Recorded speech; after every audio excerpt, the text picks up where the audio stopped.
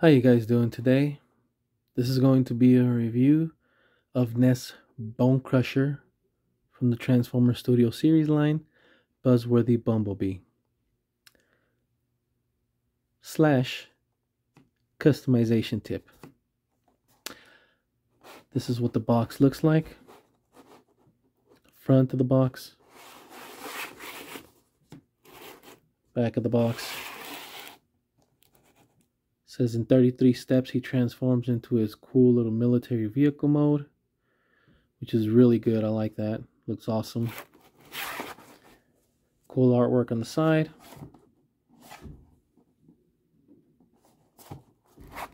The little Autobot emblem right there. And I think for this one, he, um, I think for this one, um, comes off as uh, an Autobot, but he's only um, being undercover as the story goes, as far as I got from it. Um, that he's playing undercover and he's just lying dormant, you know, and waiting to attack, you know, the Autobots. But uh, you'll see in there on the figure in a little bit that he does have the Decepticon emblem. So let's crack it open and see what we got. So there he is. Decepticon Bonecrusher. Um, I was never here, or I never did get the original one. Um, I was too late for that one. Um, but I'm glad they did do this reissue under the under the uh, Buzzworthy Bumblebee line, which um is really cool. Um, and I really like that they did it in a different color. Um, I'm a big fan, I'm a big fan of darker colors on some of these robots, and I like the way it looks on him. It looks really nice, and I like that you can see. I don't know if you guys can see if I bring it up close. You can't see his eyes, but his his details on his face are pretty good. Let me see if that focuses. Yeah, pretty good little looking uh, head sculpt right there. Um yeah, so they originally um had done this in a different color. I think it was like a tan type of color. Um I might be off, but um it definitely um is the exact same mold otherwise. Um and as far as I know, um the transformation and everything else is exactly the same. It's just a different color. Um also, um I will show you guys a little bit later in the video, but um, mine never transforms completely um, into the car. It kind of like, almost like it doesn't completely just mesh together, like everything doesn't click in perfectly. I'll show you guys a spot where mine used to get stuck. It could just be my copy, um, but if in on the off chance that it isn't, um, there is one thing that I did to mine to make him um, you know, solidly transform into the military vehicle form, um, which is a badass um, um, vehicle from what I saw. And I think from what I heard, it's a, supposed to be a type of um, a mine scavenger type of vehicle. So that's kind of cool. So, yeah, he looks pretty cool. So yeah, let's check out the uh, let's check out the articulation real quick. So um, for the head sculpt, um, it just moves left and right, left. Doesn't do any up and down. Um, yeah, just left and right, which is okay. I mean, the type of um, the type of robot this guy is. He to me he's always looked like a creature type, which is kind of cool. So for him, I don't know, it's fitting for me. It's, it's it works. Um, but yeah, just left and right there. Um, there's no um, waist swivel at all due to transformation, which again, not a bad thing. Um, only because he did get um, ankle rockers and I'm a big believer in they should at least have one or the other if they're not going to have both by now. You know, nowadays most Transformers have swivel and rockers, but you know, it seems like the studio series ones are always getting um, shafted. So, you know, we gotta we gotta take what we can. So um, yeah, um, the the shoulders pretty much do a yeah, they do all around. You just gotta watch out for this little piece right here, this corner piece that kind of gets in the way. You gotta wiggle it, but it does rotate all the way. Um, you did you do get a swivel at the elbow, all the way all around. The bend, elbow bend. This little piece here kind of comes off too. That's kind of cool. This makes it look like it's another extra sharp piece to make it look deadlier. I kind of like that. I really like that his hands look like claws. That's pretty cool. And uh, the claws pretty much open and close. So yeah. And then he has this little back piece here, this little shovel piece. Has a diff it has definitely a, a wide range of movement, so that's kind of cool. And as far as the legs go, you can kick up pretty much all the way up, back all the way, all the way out. He has a uh, swivel at the thigh. He has a knee bend like that. So that's pretty good. And then of course, he has that that ankle rocker that that goes pretty damn far which is really nice. I'm a big fan of ankle rockers especially when they when they extend out pretty damn far. So i like that. That's that's pretty damn nice. So yeah. No swivel at the toe no up and down but the rocker like i said that that's good enough for me. All right let's check out the transformation into vehicle mode.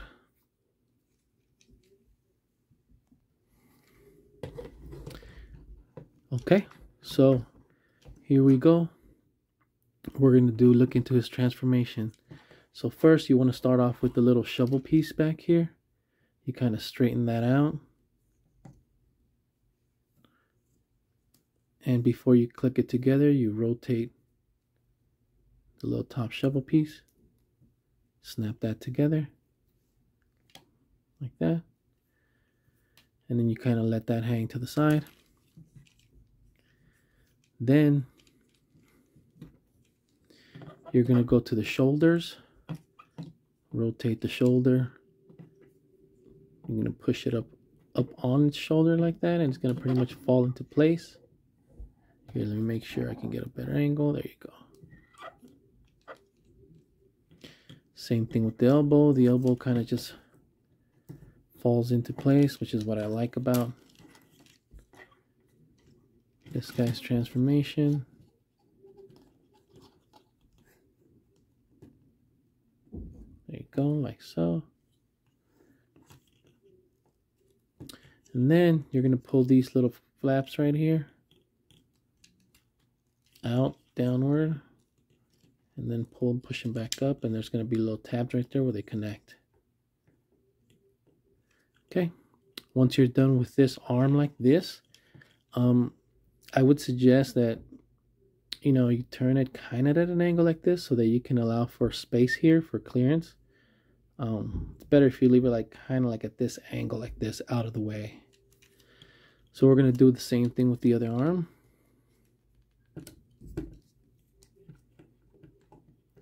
there. Same thing with the shoulder, with the elbow, like that. And then same thing with the flap, like so.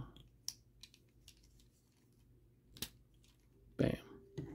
Same thing, you're going to bring it out a little bit to allow for clearance. And then you can just leave them like that for now until we get back to the rest of the top part. We're going to go down to the legs now. So now the legs, you're going to move this little piece right here forward like that. And then this little back part right here, you're going to move it forward this way. So it's going to be sticking out to the side. Rinse and repeat. Same thing with the back. And then you're going to rotate these legs, or this first leg, um, at the thigh, all the way around, like that. Same thing with this one. Like so. Okay, and then there's a little like lock right here between the uh, the waist and the upper body, the torso area, that you're going to split. So you're going to want to grab it carefully. Um, I try to leverage it, keep my fingers in the back, and then leverage it with my thumb here and then here, and kind of just try to put pressure till it pops. I'm always very careful with my um, transformers because I'm very meticulous about how I handle them. I don't like to break them, you know. Um, you move these little two little hip pieces inward. Like that. And then you're going to grab these tire pieces here. That's pretty much essentially the whole leg. And you're going to bring that in like that.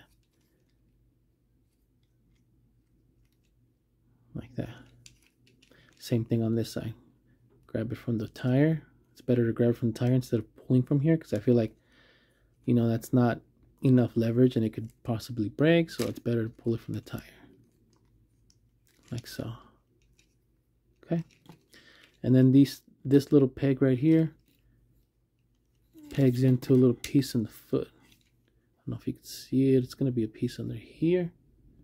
You'll see it right there. Tab that in like that and then you push these little knee areas here. I like to call these little silver pieces kind of like the guide for my knees. Kind of push them in on themselves like that. You'll see as they go in. Like that. Okay. Now it's the tricky part.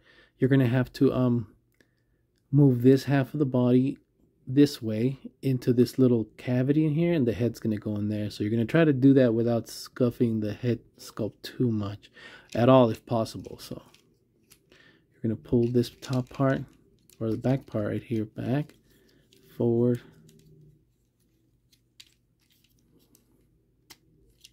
and then as you do this, you also have to make sure you rotate the shoulders, pretty much the whole arms, this one and this one, upward at the same time.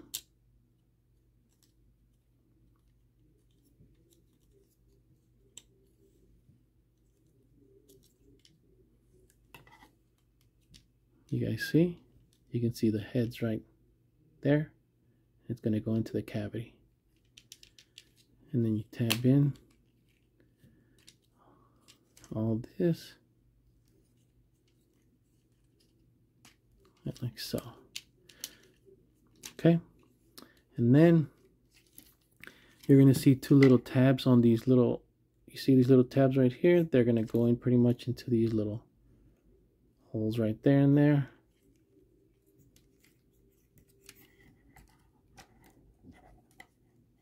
That one's definitely a little trickier, especially when it's not completely even.